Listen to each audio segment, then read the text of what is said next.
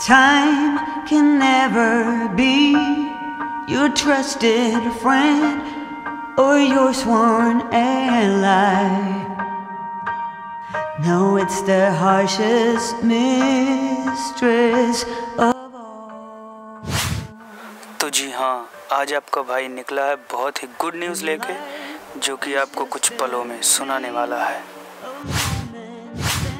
A thousand hellos and goodbyes. Maybe a love like ours can leave out its call. Hello अस्सलाम वालेकुम जी। तो क्या हाल चाल है आप सभी के?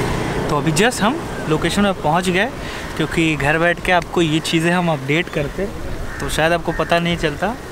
पता क्या चलता? आपको पसंद नहीं आता शायद। लेकिन बातें वही रहेगी बट लोकेशन थोड़ा चेंज है। तो आज हम बात करने वाले हैं एक बाइक की, जो कि लॉन्च होने वाली है बहुत जल्दी अपने इंडिया में। और काफ़ी क्रेज़ है उसका मार्केट में, लोगों में। तो मैंने सोचा क्यों ना मैं अपने ऑडियंस के लिए एक वीडियो बना ही देता हूँ। तो आज हम बात करने वाले हैं um Yamaha M T fifteen जी हाँ। तो लुक चेक करें थोड़ा सा तो देखा ना, क्या क्लियर लुक है। तो आज हम इसी के बारे में बात करने वाले हैं। M I M T fifteen जो कि बहुत जल्द लॉन्च होने वाली है अपने इंडिया में। और अभी रिसेंटली ये कहाँ पे लॉन्च हुई है, मैं बता दूँ आपको, ये हुई है लॉन्च लॉन्च थाईलैंड में। काफ़ी जल्दी लॉन्च हुआ है तो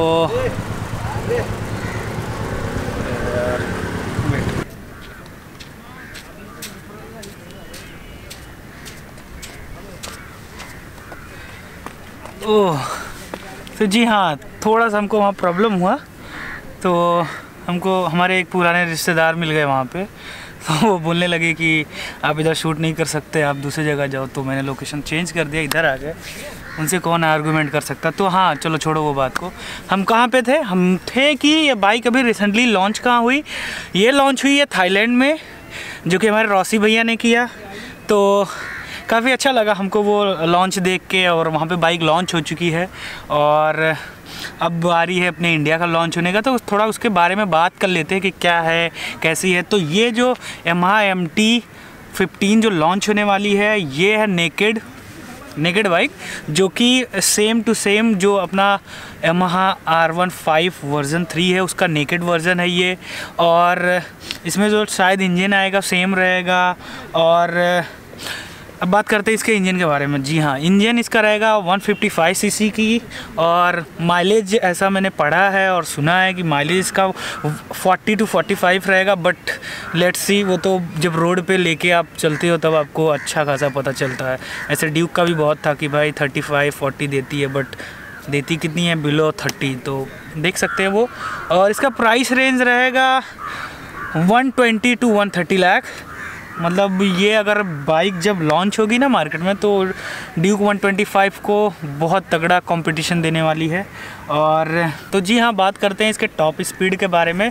तो इसकी टॉप स्पीड आई थिंक 135, 40, 45 ऐसे ही रहने वाली है। तो 150 सीसी की बाइक में अगर आपको इतना टॉप स्पीड मिल रहा है तो काफ़ी इम्प्रेसिव है और काफ़ी अच्छा है। और मेरे को इसका लुक जो है ना, बहुत पसंद आया है। तो थोड़ा ये चेक करें। ये वीडियो मैंने नहीं शूट किया है, ये यूट्यूब पे है। तो इनका अगर चैनल आप चेक करना चाहते हैं तो डिस्क्रिप्शन में लिंक है। तो ये ज़रा चेक करें वीडियो किसका? एमा की जो नई बाइक लॉन्च होने वाली है।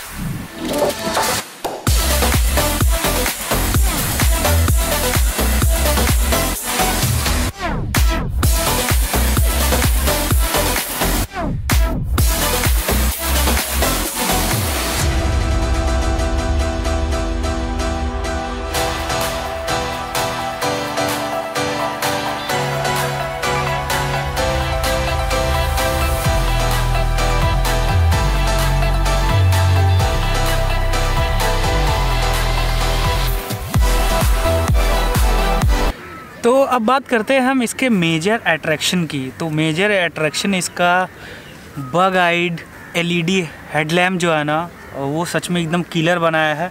और वो वो हेडलैम्प बनाने की वजह से ना बाइक एकदम एग्रेसिव हो गई है और ओवरऑल लुक इसका बहुत फैसिनेटिंग है।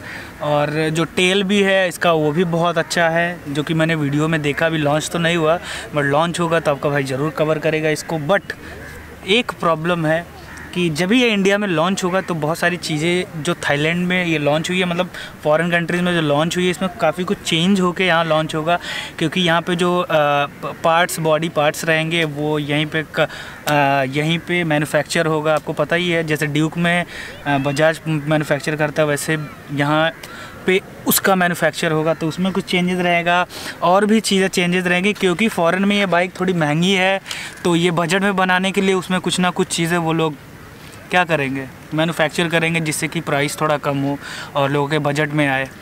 और एक सबसे इंपॉर्टेंट बात, आजकल बाइक में हर कोई यही खोजता है कि क्या एबीएस है कि नहीं? जी हाँ एबीएस है क्योंकि अप्रैल 2019 से सारे बाइक्स में मैंडेटरी है एबीएस लॉन्च करना। तो आपको इसमें एबीएस मिल जाएगा। अब मुझे ये नहीं पता है कि सिंगल चैनल वैसे सिंगल चैनल नहीं लेने वाला है, क्योंकि 120 130 लाख में आपको सिंगल चैनल ही एबीएस मिलेगा।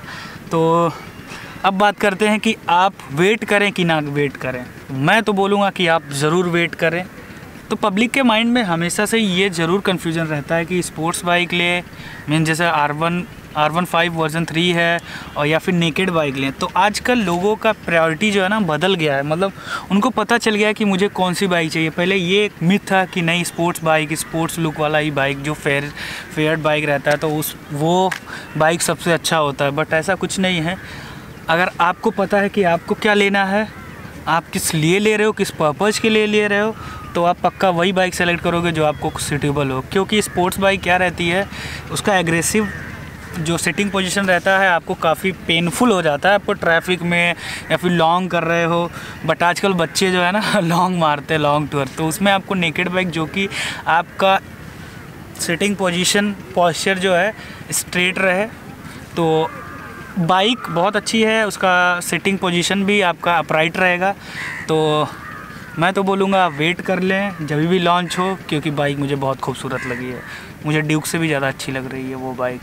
तो मैं तो बोलूँगा वेट कर लें, क्योंकि वहाँ मार्केट में तबाही मचाने वाला है। तो तबाही मचाने के लिए आपको वेट करना ज़रूरी है आई थिंक और हाँ मेरे से कुछ चीज़ें अगर छूट गई इस बारे में, इस बाइक के बारे में तो आप कमेंट सेक्शन में बता सकते हैं। और फर्दर जब भी इसका कुछ, इससे रिलेटेड कुछ न्यूज़ आएगी मार्केट में तो मैं अपने इंस्टा स्टोरी और इंस्टा पोस्ट में डालते रहूँगा। तो आप अगर नहीं फॉलो किए हैं वहाँ पे तो फॉलो कर सकते हैं हम N B blogs zero seven screen पर आ रहा है तो फॉलो कर लें। ऐसा कुछ न्यूज़ मैं आप लोग को देते रहूँगा, अगर आएगा। वैसे वीडियोज़ आते रहेंगे इसके बारे में, अगर कुछ फर्दर अपडेट मिलेगा तो। तो अभी मुझे करना है यहाँ पे फ़ोटो शूट और बिल्कुल परफेक्ट टाइम हो रहा है गोल्डन पीरियड तो अभी मुझे करना है फ़ोटो शूट तो करते हैं और फिर मैं आपसे बात करता हूँ, ठीक है.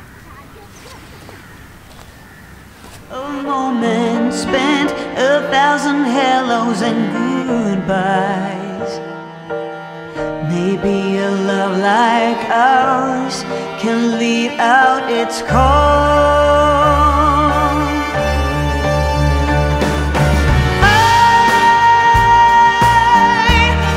ये लड़की समंदर में कुछ ज़्यादा ही आगे जा चुकी थी। सो so, जी हाँ अभी जस्ट हमारा फ़ोटोशूट फिनिश हो गया और अगर आपको फ़ोटोशूट में थोड़ा भी इंटरेस्ट है तो आप मेरे इंस्टाग्राम पे जाके मेरे पोस्ट चेक कर सकते हैं। सारे फ़ोटोज़ वहीं पे अपलोड होंगे।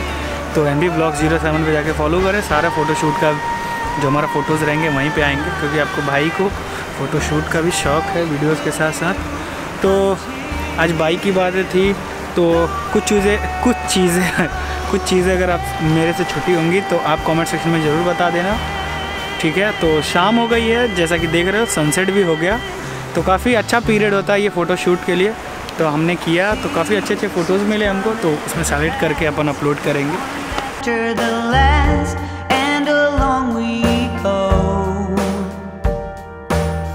The shift and pull of the tides never इसी के साथ मैं इस वीडियो को यहीं पे एंड करता हूँ। आई होप आप लोगों ने इस वीडियो को इन्जॉय किया हो और फोकस में हो ना? हम्म, और क्या? इन्जॉय किया हो और कुछ अपडेट मिला हो आपको? बस ऐसे ही मैं कुछ वीडियोस अच्छे अच्छे लाते रहता हूँ ब्लॉग अगर पसंद आए तो बस जो मन में आए वो करो बस चलो। Bye bye see the next blog bye